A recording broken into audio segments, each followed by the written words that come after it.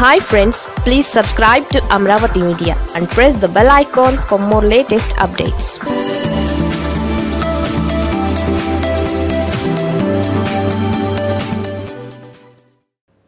Kothapalli మళ్ళీ jumping అయినా Kothapalli Subbarayudu senior నేత. మంత్రిగా ఎంపీగా ఎమ్మెల్యేగా ఆయన మూడు పదవుల్ని అనుభవించారు. అదే సమయంలో ఆయన నాలుగు పార్టీలు మారారు.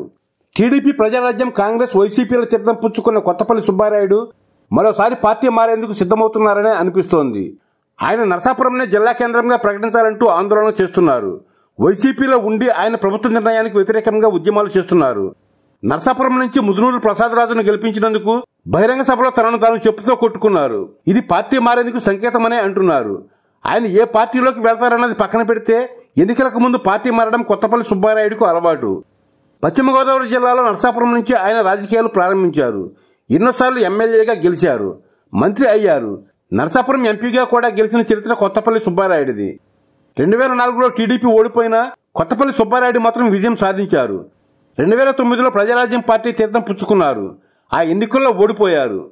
ఆ తర్వాత కాంగ్రెస్లో చేరిన ఆయన రెండు వేల పన్నెండులో జరిగిన ఉప ఎన్నికల్లో కాంగ్రెస్ తరఫున పోటీ చేసి ఎమ్మెల్యేగా గెలిచారు. రెండు వేల పద్నాలుగు ఎన్నికలకు ముందు వైసీపీలోకి వెళ్ళి మళ్ళీ ఓడిపోయారు. రెండు వేల పద్నాలుగులో టీడీపీ అధికారంలోకి రావడంతో మళ్ళీ టీడీపీలో చేరిపోయారు. కాపు కార్పొరేషన్ చైర్మన్ పదవిని దక్కించుకున్నారు. ఇప్పుడు మరోసారి కొత్తపల్లి సుబ్బారాయుడు మనసు మారింది. రెండు వేల పంతొమ్మిది ఎన్నికలకు ముందు ఆయన తిరిగి వైసీపీలో చేరిపోయారు.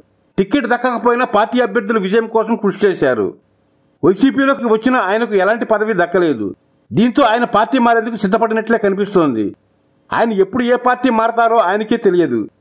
ఈసారి ఏ పార్టీలోకి మారతారన్నది ఆసక్తికరంగా మారింది.